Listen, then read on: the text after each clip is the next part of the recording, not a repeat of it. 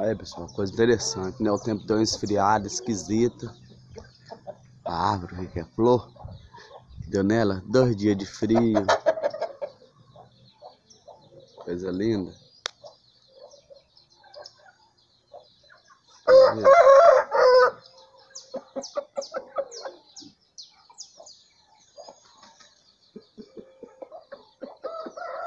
Olha as flores, que lindo.